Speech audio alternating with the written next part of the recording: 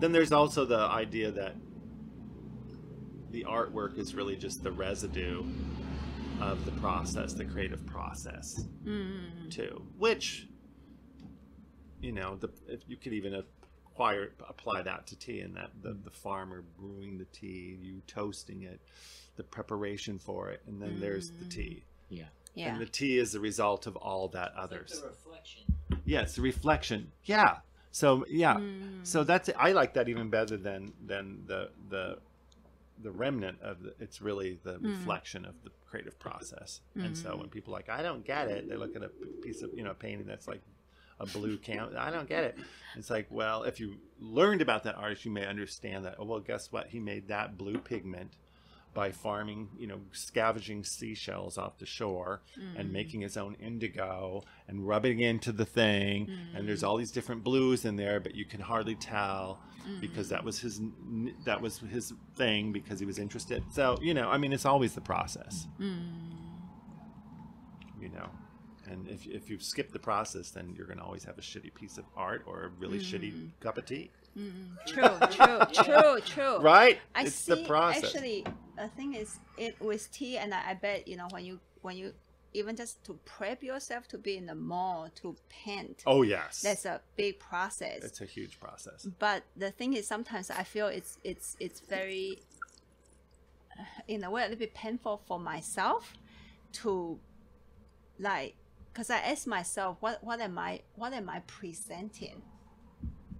That's like that's like uh, uh, in a way a conflict part of of of me doing this formal presentation. Part of me want to do it so well. It got to be well because it's a it's a it's an art presentation.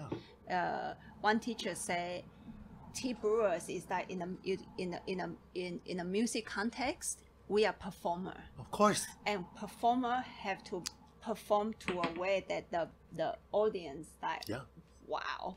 Yeah. you know? And another teacher is uh is milder. He said we have to keep creating the beauty. It's almost like books being printed so it reached to more people. Music got into disc and so it also this form of beauty just reach to more and more people it's like you can recreate beauty you got to let mm-hmm. people see the beauty to be mm-hmm. inspired but sometimes it feels a little bit uh, i would say draining hmm. because people see the end part of it, right? Today, did I move you? Or at least it's a good session, I would say. Hmm. You know, Yeah. and I'll, I'll, I'll also maybe you have the same feeling then. You, you, you, you do a show and and and people see the final result mm-hmm. of your painting, and either they get it or not get it, Right. and it comes into that the some of the most brutal part of it is that how many do I sell in mm. this in Right. do you think mm-hmm. about that? You, you have to, right? Mm, well, of No? course I, you know, of course I think about, you know, whether I'll sell pieces or not. But I, I also have, I also already cushioned myself with the fact that maybe no one would buy any, and that's fine. It doesn't matter, you know. So Nah, each ne- time something sells, it's like, oh, goody, goody, You are performing. The tea is performing. yeah.